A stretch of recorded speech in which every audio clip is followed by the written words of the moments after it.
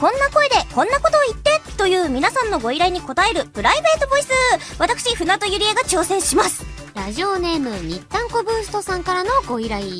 逆に心配されそうな感じで。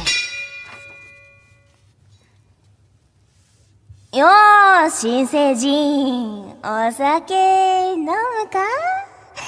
あでも大人の仲間入りしたからって気を抜くんじゃないよお姉さんを見習えこれは性癖に来るな。すごい可愛い。